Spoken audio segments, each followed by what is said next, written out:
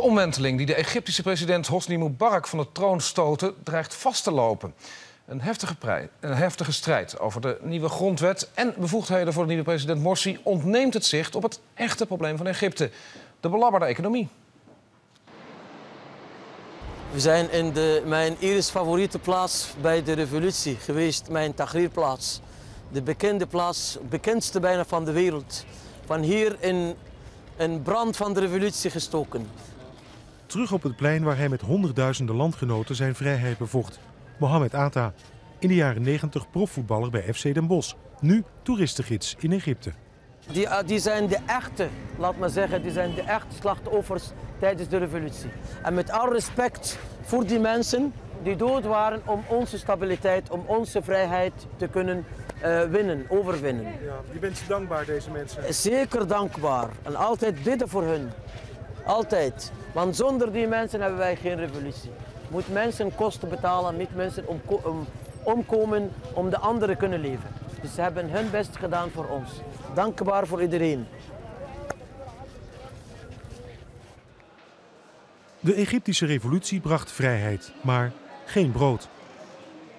Op de beurs van Cairo hebben handelaren weinig meer te doen. Door de voortdurende onrust is de economie van het land ingestort. Well, there is lots of problems because of the uncertainty and the risk associated with the political transition. Um, the, the economy is suffering in terms, of course, that uh, investors are not very much encouraged to invest in the country. Also, they're not consumers, of course, are not uh, very optimistic about what's happening in the economy. Um, and uh, there is lots of disruption in terms of production uh, because of workers' uh, protests. Niet alleen de investeerders blijven weg, ook de toeristen. We zijn nu eh, in een heel bekende omgeving in Egypte, vooral in Cairo. In het centrum van Cairo, islamitische plaats, oude islamitische plaats waar veel moskeeën te zijn. Eh, begin vandaar is de citadel van Mohammed Ali. Mohammed Ali beschouwd als grondlegger van moderne Egypte. En hier links van u is moskee van Rifai, waar Shah van Iran in het jaar 85, eh, 82 hier wordt begraven. Twee jaar heb ik eh, eh, een stuk of drie maanden gewerkt, in twee jaar. Dus zes groepen ongeveer. In twee jaar tijd, Ja, zes jaar. dat is niet veel. Eh, zes groepen. Nee, absoluut niet. Gelukkig dat je hebt een appeltje voor de dorst. Hè. Ik heb een beetje geld gespaard en eh, bijna alles nu uit. ثورة ب- بصراحة وجهة نظر أنا وقعت مصر. أيام حسني كان في فلوس كانت الدنيا دايرة. دلوقتي لا في لا أمن ولا في فلوس ولا في أي حكاية. خربت. ولا لاقيين شغل ولا أي حاجة ومش عارفين نتجوز ولا أي حاجة. مش لاقيين فلوس. مش زي الأول زي حسني مبارك لما كانت لفلوس. wel ellendig. Is wel ellendig voor iedereen, niet alleen voor mij. Want eh, toerisme in Egypte maakt een grote vorm van de inkomen van Egypte. Komt op de eerste plaats als ze eh, eh, 15 miljard dollar krijgt per jaar. En nu krijgt niks. Niet alleen in de stad, maar ook op het platteland is het leven er niet beter op geworden. In Taksim, een klein boerendorpje in de Nijldelta, is veel teleurstelling. الحياة أصعب بكتير. حتى في ناس كمان يعني في هم وصلونا إن الناس قالت فين أيامك يا محمد حسني مبارك؟ ندموا على الأيام دي لأن الأيام دي كان في أمان كان في استقرار آه كان في أكل وشرب. فهم ندموا فهم الناس برضو الناس فلاحين مش هتصبر. يعني مش هتصبر. يعني ناس الثورات في جميع بلاد العالم بتاخد وقت. بتاخد وقت على ما البلد تستقر على البلد تتقدم. فالناس الفلاحين مش صابرة للكلام ده. فهم طبعا بيعانوا وحاسين إن بعد الثورة ما عادش في أمان الشغل قل ما عادش في أكل وشرب كتير. فالناس آه، طبعا عانت Voor de mensen in het dorp werd het leven na de revolutie niet direct beter. Maar ze realiseerden zich opeens wel één ding. En dat is dat ze rechten hebben. En dat ze die rechten ook kunnen afdwingen.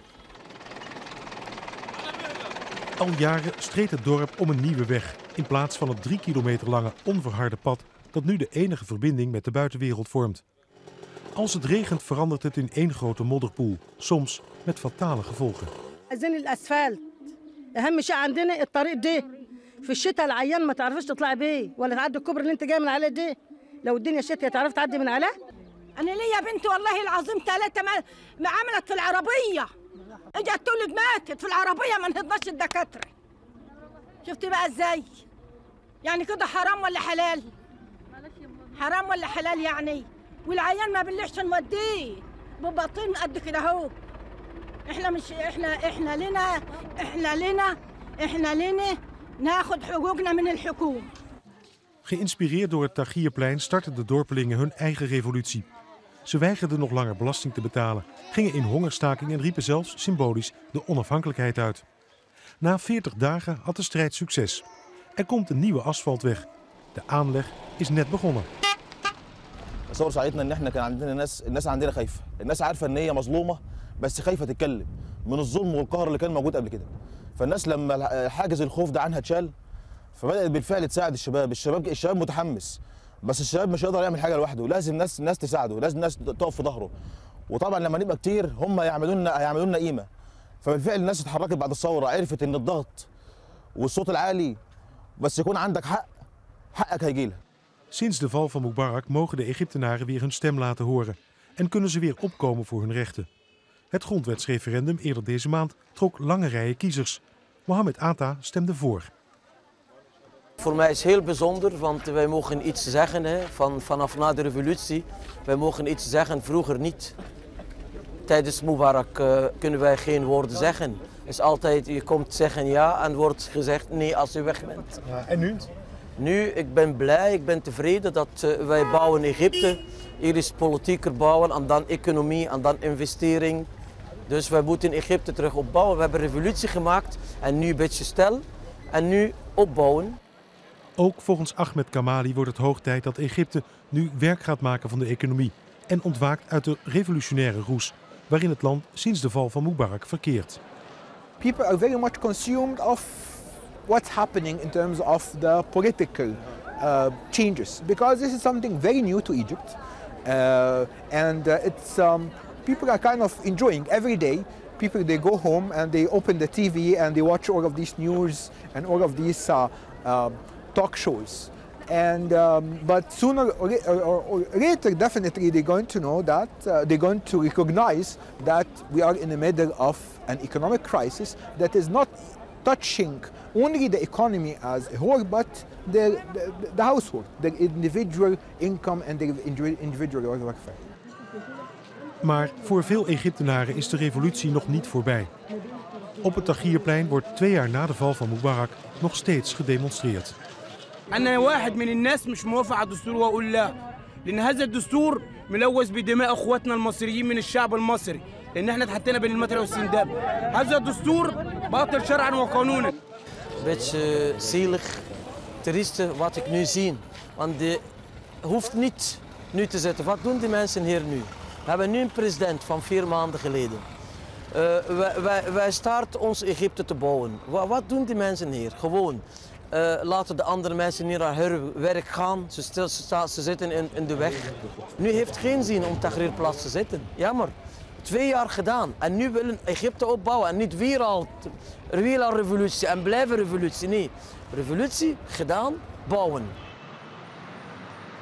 President Morsi heeft vandaag in een toespraak tot het Egyptisch parlement gewaarschuwd dat de voortdurende politieke onrust de economie van het land grote schade toebrengt.